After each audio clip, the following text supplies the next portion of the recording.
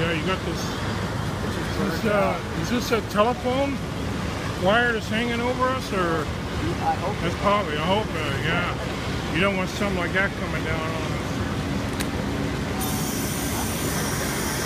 Wrong.